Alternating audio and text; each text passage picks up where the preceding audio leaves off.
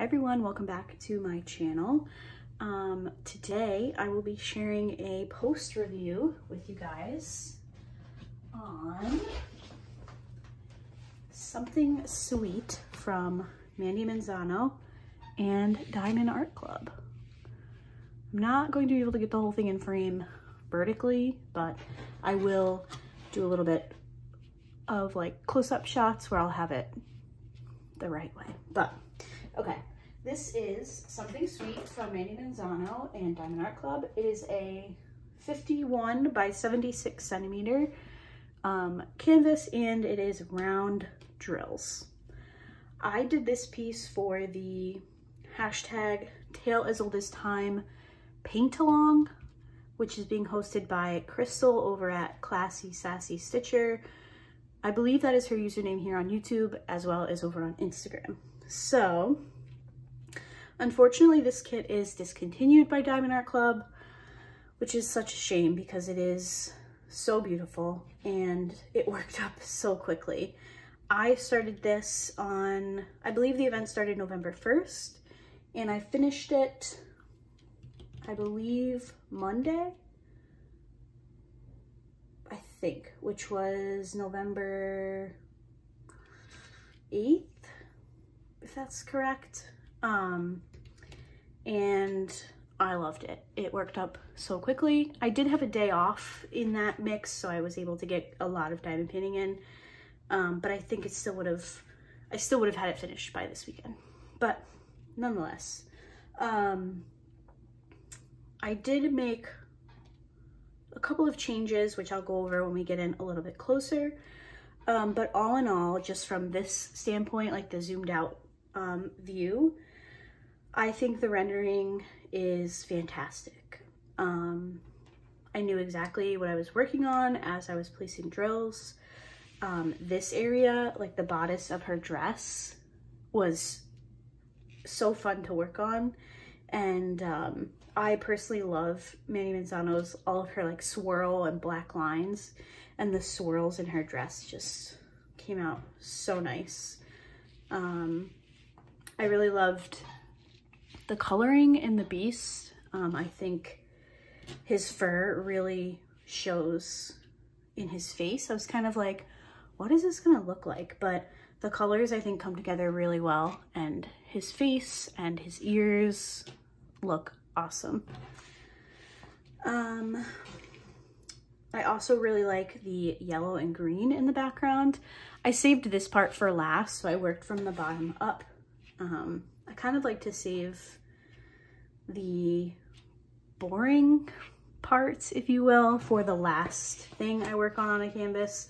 I know some people are the opposite way where they start with the boring area and then move to the more exciting things. Um, I love working with yellow. So even though this wasn't necessarily like the most fun of the kit, I still really liked completing this end. And there was quite a bit of color blocking, so it went by pretty quickly. Um, as far as the changes that I made to this kit, I did add in a couple of ABs. I believe this kit came with two. Yes, I think it came with a white and a light pink. Um, and the light pink is all in her dress down here. Um, and the white is throughout like the flowers of her hair, um, the beast's teeth, and where else was there white? There was definitely more pink AB than white AB. Um, but the changes that I made were I added some pink ABs to her lips. Um, they were charted just a normal pink color and I had a, clo a close color in AB. This is from, um, this is AB 604 from uh, DP with Sparklers my brain wasn't working there. Um, so I just added that into her lips. I think the light pink in her dress, there was plenty. I didn't need to jazz anything up there.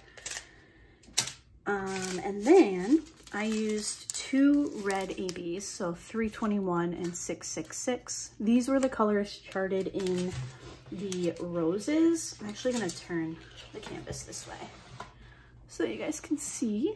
Bring it down a little bit. sorry for my shirt. um, so in the roses, I completely swapped out the colors for the AB. So 321 and 666. And I think it just made it sparkle a little bit more. Um, and I like how they turned out. So I'm gonna just do a little scan up and then I'll show you what I had left in the way of regular drills. I just, their faces came out so, even Belle's face came out really cute. Um, the Beast is my favorite. His face just looks awesome. All right. Let me grab containers. I used the Elizabeth Ward storage containers for this kit, um, which is one of my favorite ways to kit up. Also grab a little basket here. So if you've ever completed a Mandie Manzano piece before, you know and can see that she uses a lot of black lines in her work, which means a lot of black diamonds. Um, I can't remember exactly how many bags I got. I want to say like six or seven. And I have a whole bag left that I didn't even get into. So I had plenty of 310. I normally have my camera on this side and I put it in my little holder the opposite way. So I'm so used to going like this. Sorry about that, guys. So plenty of 310. Uh, here are the two ABs. So light pink and white. Actually, this wasn't 141. So this was the white with like the mint cover, cover, yeah, I guess, mint covering.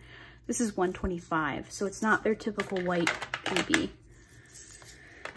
Um, yeah, there was no colors that I was concerned about running out of, and the colors were just so fun. Like these three greens, I feel like they're not colors that I normally work with in kits, but they were so pretty in this one. I really enjoyed having them in this kit.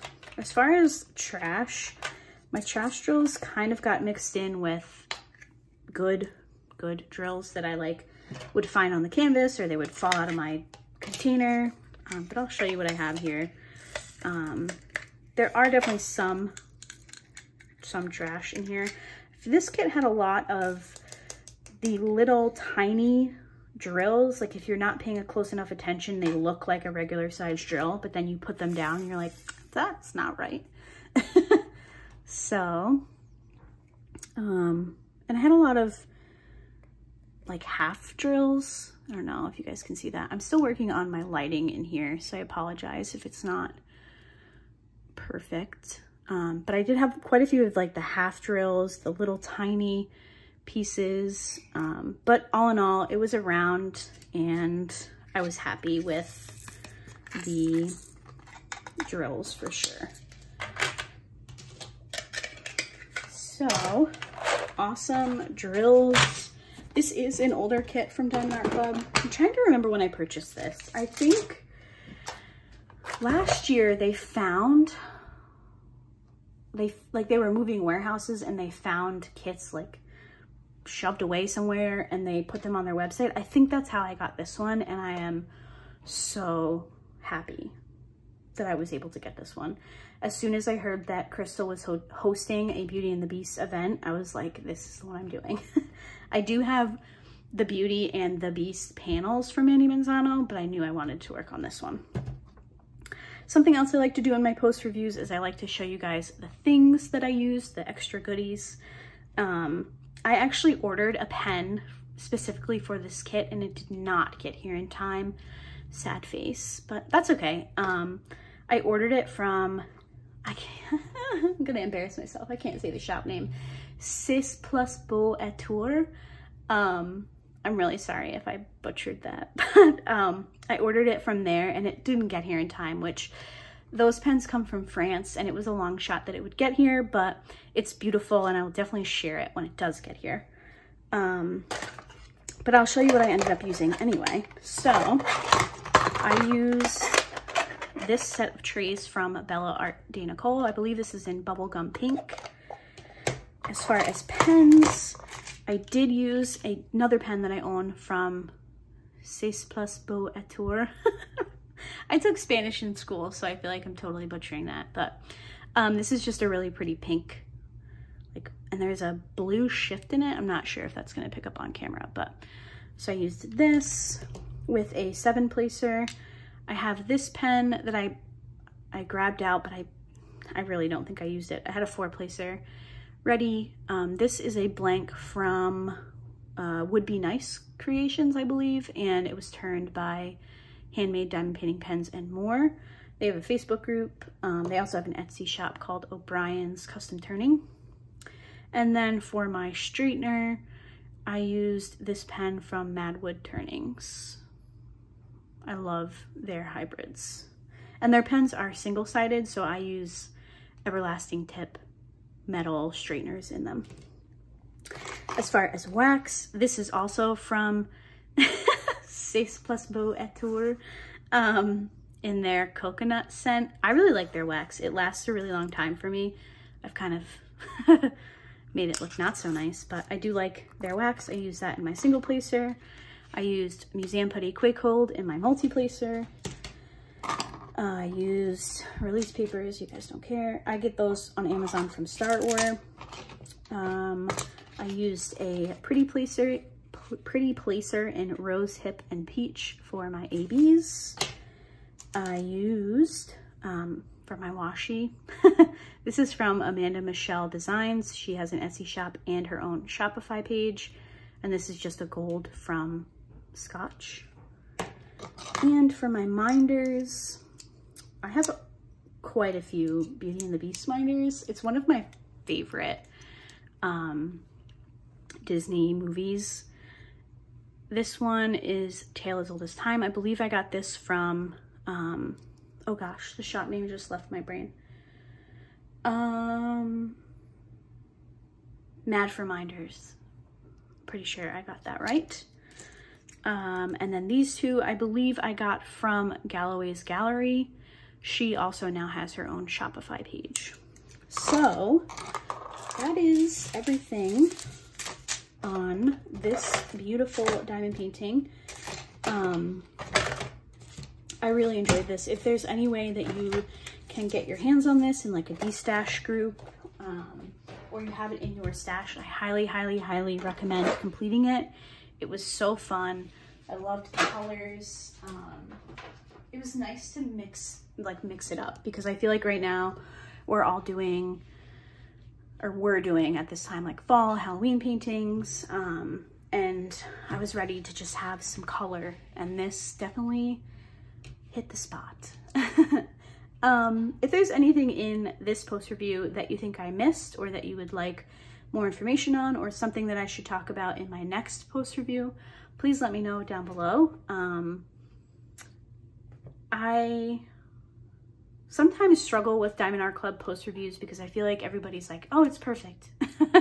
and I've definitely worked on Diamond Art Club paintings that I've had issues with, but this one is not one of them. This was amazing to work on. Um, the adhesive was perfect. Everything was just awesome. So I know that people get frustrated when they watch reviews on this company because it just sounds like everybody is gushing about them.